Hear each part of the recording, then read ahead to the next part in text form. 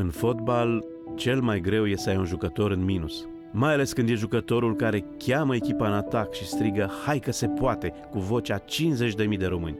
Naționala joacă meciul cu Finlanda fără spectatori, dar tu poți fi lângă ei. Iați un bilet virtual pe arenafanilor.ro și poza ta va apărea pe tricourile lor și în vestiar. Arată-le că toată România e cu ei. Arată-le că nu sunt singuri. Jucăm fără spectatori, dar fără suporteri niciodată.